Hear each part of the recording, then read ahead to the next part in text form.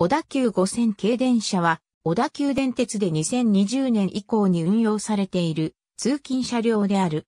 小田急では、編成表記の際には、新宿より先頭車両の車両番号両数という表記を使用しているため、本校もそれに習い、特定の編成を表記する際には、例えば第一編成は505110のように表記する。また、特定の車両を表記する場合は、車両番号からデハ5200番台などのように表記する。2019年度に川崎重工業で重量1編成が製造され、2020年3月26日より営業運転を開始した。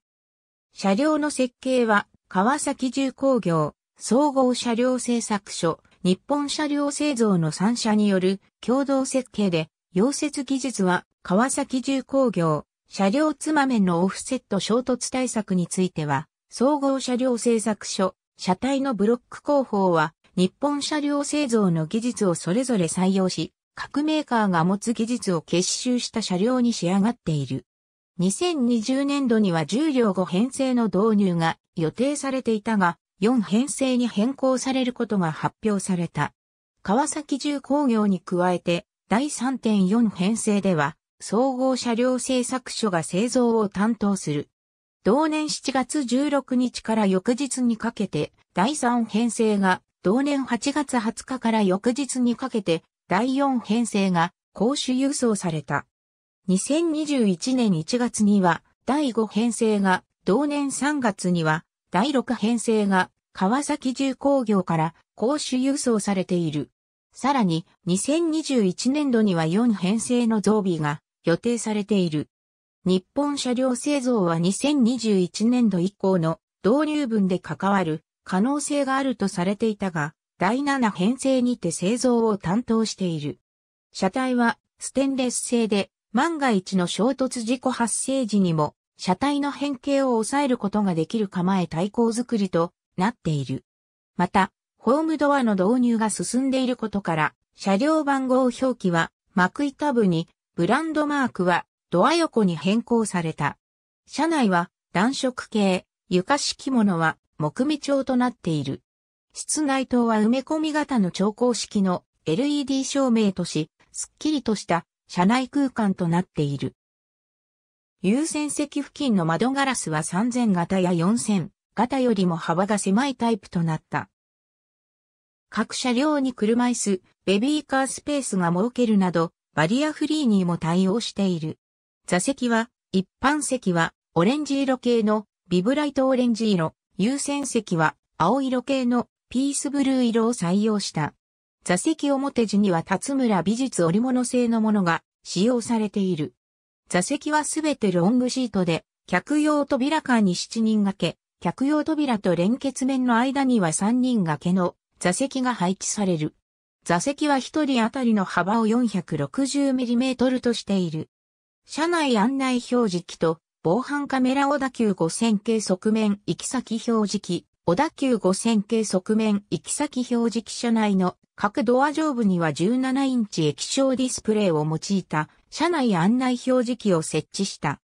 LCD 画面は2台が設置され、左側を小田急 TV の広告動画用として、右側を行き先案内、乗り換え案内等の旅客案内用として使用する。合わせて、ドア上部には千鳥配置で防犯カメラを配置している。ドアチャイムは小田急3万系エグゼアルファでも採用されたに打点式となった。行き先表示器にはフルカラー LED 方式が採用されている。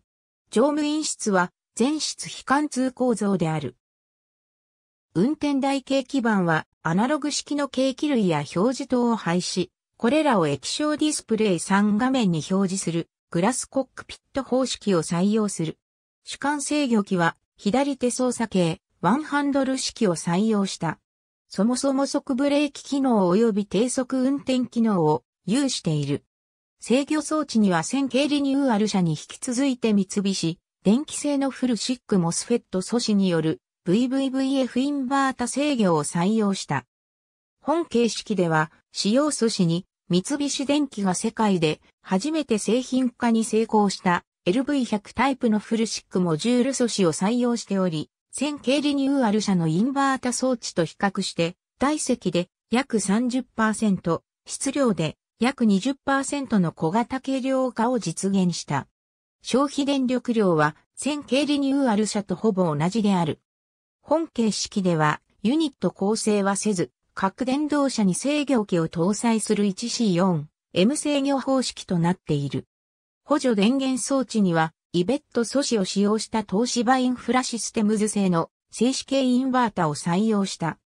低角出力は269馬を有し、主要部を二重系に搭載した大気二重系のシステムを採用している。空気圧縮機には、ドイツクノールブレムゼ社製で、潤滑油が不要なオイルフリーレシプロ式を採用している。吐出量は 990L、 minutes、騒音低減のため機器箱に収納されており、1編成で3台を搭載する。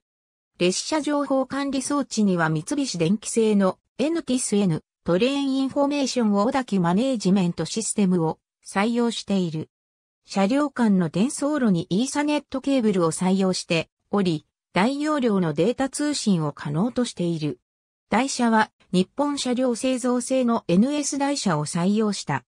ボルスタレス方式で軸箱指示は軸量式、形式は動力台車が NS-102 系、付随台車は NS-102T 型である。基礎ブレーキは片押し、式踏み面ブレーキである。途平装置は富士電気製の電気式固兵装置を採用している。また、小田急の車両では初めての空気清浄機を搭載している。ありがとうございます。